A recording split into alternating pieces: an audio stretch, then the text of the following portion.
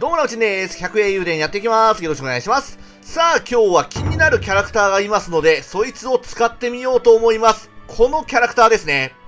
ダイクストラですね。えー、防御コマンドを使うと、おたけび力、えー、ターン中の味方全員の攻撃力を上げるっていうキャラクターなんですよね。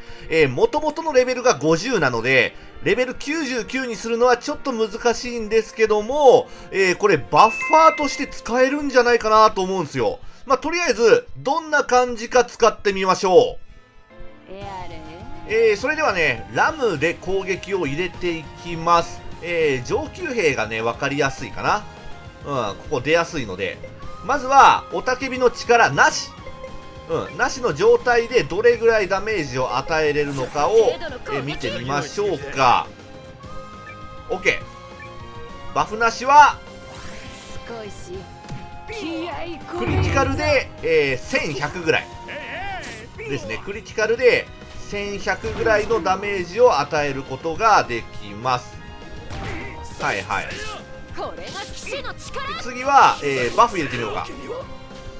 バフありでいきます。えーと、おたけび力ラムはね、結構クリティカル率高いので、まあまあ、またクリティカルで攻撃してくれるでしょう。バフ割りはどうだ？さっきが1100だったね。おお、ちょっと待って。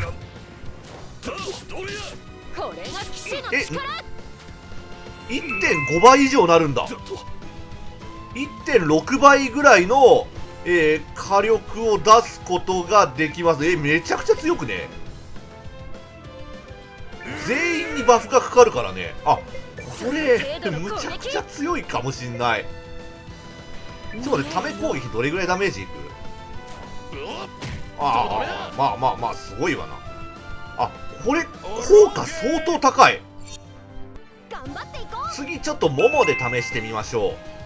えー、っと、まずは、えっ、ー、と、バフなしですね。バフなしで、桃の魔法で、えっ、ー、とね、2200、300ぐらいダメージを与えれると思う。これバフなしですね。あー、強いな、やっぱり。とんでもなく強い。これバフ入れるとすごいんじゃない？では次、えー、バフありでいきましょう。でね、これね、ちょっと気になるところがあるのが、攻撃力を上げるなんですよ。魔法攻撃力とは変えてないんですよね。まあ、全体的な攻撃力とひっくるめて言ってるのかどうかはわかんないけども、まあ、見てみましょう。次の一撃で。どんなダメージになる？上がるか？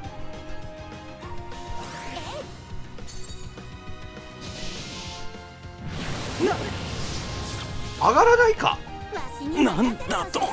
あ魔法攻撃力は上がらないね。物理だけだな。